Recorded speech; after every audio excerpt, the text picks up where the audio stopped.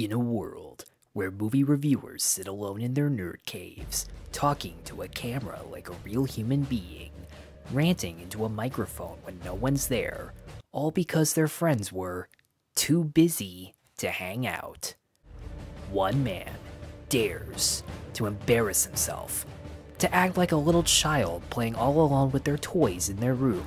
to recreate the cinematic style of every movie he sees in such a silly, cheap looking, but hilarious and excitingly over the top way.